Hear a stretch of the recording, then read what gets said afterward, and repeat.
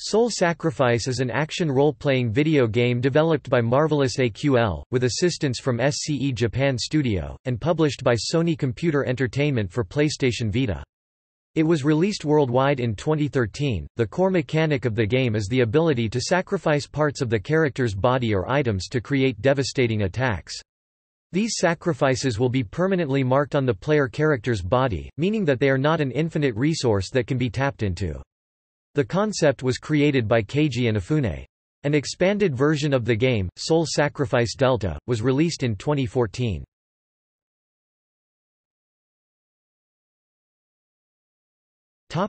Plot The main protagonist of Soul Sacrifice is one of the innocent bystanders that has been enslaved by a powerful and cruel sorcerer known as Magusar, who absorbs human sacrifices to remain immortal. Just before the protagonist is going to be sacrificed, a talking book appears before them. The book, named Libram, is a collection of stories that describe past fights between monsters and the powerful sorcerer. The player character is able to enter the book's world and experience the fights in events known as Phantom Quests, thereby gaining the experience and power needed to defeat Magusar. The game has two endings depending on whether the player saves or sacrifices Magusar after his defeat. There is also a third ending that occurs if the player defeats Magusar before completing all of the main stories in Libram.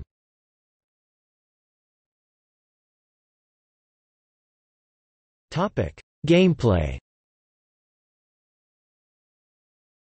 Soul Sacrifice is played in the third-person perspective. The player character is a sorcerer who relives another sorcerer's memories through a journal. The character can be customized in various options and can change throughout the game. The abilities, sacrifices, are part of this customization, which allows the game to have roles such as tank, ranged caster or melee DPS. The game features four-player cooperative play and the ability to sacrifice party members to destroy powerful foes. The slain party members are not given the usual recognition in a game, such as experience points. However, the player does gain bonus points for being sacrificed. Four-player cooperative play is only available on some quests, such as Inside Avalon a portion of the journal.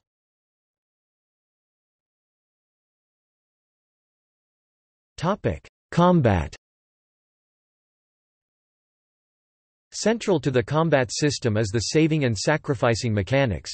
When an enemy or ally is defeated, they collapse to the ground and you are given the choice to either save or sacrifice them. Saving an enemy restores a small portion of health, while saving an ally consumes one half your current health but restores that ally back to the fight. Players can also choose to sacrifice their allies to create a powerful map-wide damaging spell. However, sacrificed players can no longer be healed and enter a spectator-type mode in which they can continue to watch the fight. Sacrificed players have the benefit of being able to see numerical damage figures and exact health bars. They are also able to tap the screen to either boost allies or weaken enemies. Sacrificed allies do not gain any additional experience from the fight, but do still gain mission rewards if the stage is cleared. Sacrificing an enemy restores charges to items known as offerings which are required for the casting of magic.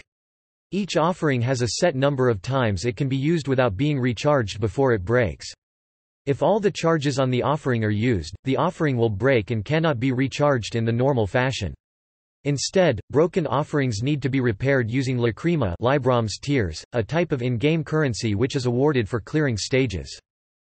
Players are also given the option to sacrifice a part of their own body when they receive enough damage. When a player chooses to sacrifice a part of themselves, they cast a powerful spell, known as Black Rites, which differs depending on what part of the body is being sacrificed but also suffer a semi-permanent status effect. For example, the player's defense is reduced by 50% for sacrificing their skin or their field of vision is reduced for sacrificing their eyes. This status effect remains active until players use Libram's Lacrima from the game menu to restore their broken bodies similar to restoring broken offerings.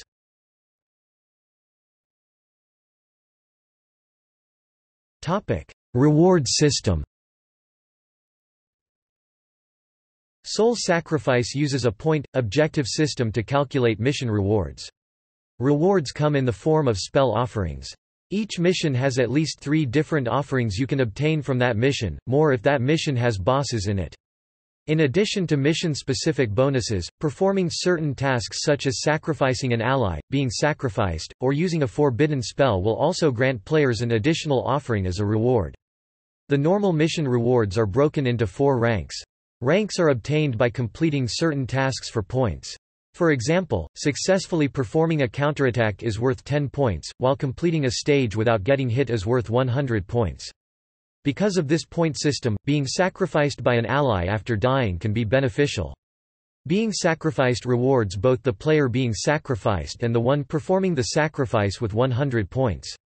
The exact amount of points for each rank changes depending on the mission. If the mission contains a boss, players can receive additional spells by breaking weak points on the boss. Each boss has a single break reward and that reward can be earned as many times as the boss has weak points usually two or three.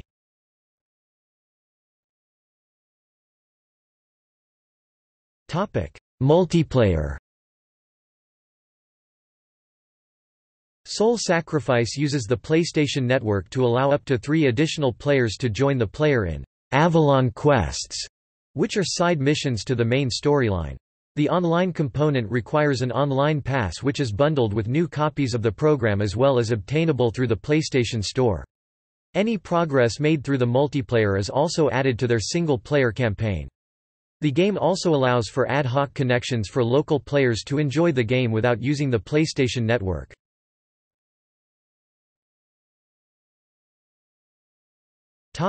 Near support The PlayStation Vita program Near is used in the game's multiplayer section for players to share spells with other players in their immediate area. Any spell gifted through the Near application is not removed from the player's inventory. Instead it makes a copy and allows other nearby players to receive the gift for free. However, some spells, such as those acquired through pre-order bonuses or importing demo save data, cannot be gifted. Use of this function does require the online pass.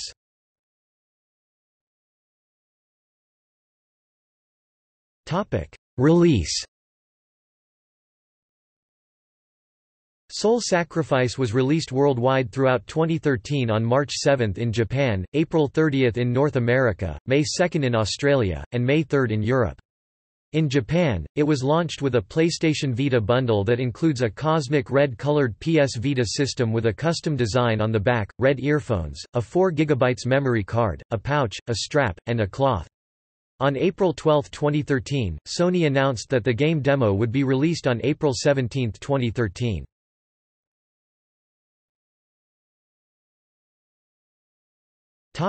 Reception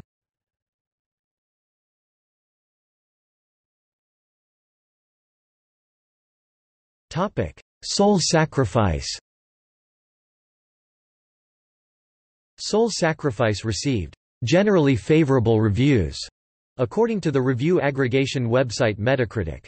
Most reviewers concurred that the game has addictive gameplay and a very detailed combat system, but lamented the poorly programmed AI allies and repetitive level designs and enemies. Japanese reviewers gave the game favorable scores, most notably, Famitsu gave Soul Sacrifice a score of 110 and 3 nines for a total of 37 out of 40. Forbes gave it a score of 8.5 out of 10, saying, it's fun enough to make its shortcomings less important, though certainly not to overlook them entirely." Toronto Sun gave it a favorable review and called it, "...a must-buy if you already own a Vita, and with its release there's never been a moment to pick one up." Digital Spy similarly gave it 4 stars out of 5 and called it, "...one of the deepest and most interesting games available for Sony's handheld."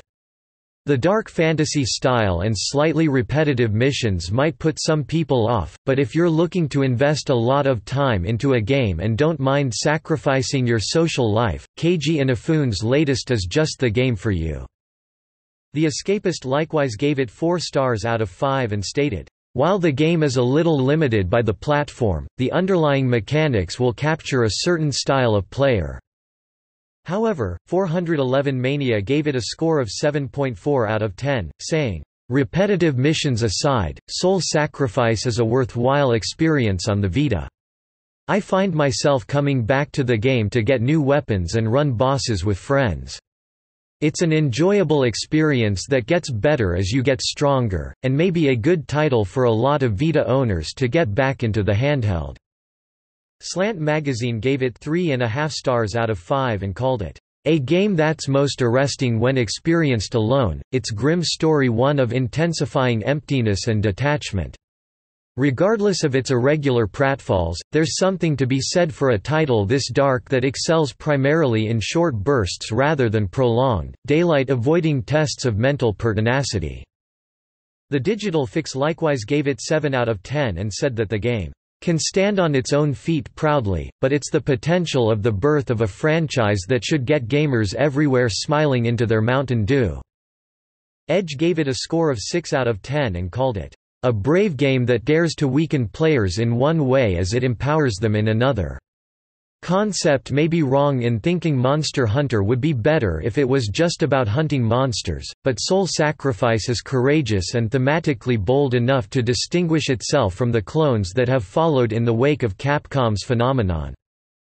Soul Sacrifice was a breakout hit in Japan, and one of the most successful debuts for a new intellectual property from Japan Studio on a handheld system. The game sold 92,396 copies of the standard physical retail version and 22,050 copies of the special double pack within the first week of release in Japan. Sales reached almost 200,000 copies in the second week. Soul Sacrifice was the fifth most purchased digital Vita game on the Japanese PlayStation Network in 2013.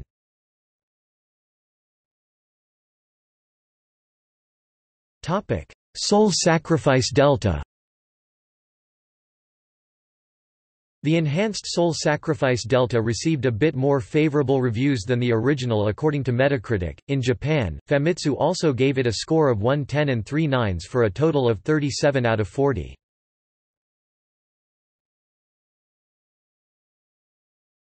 Topic: Legacy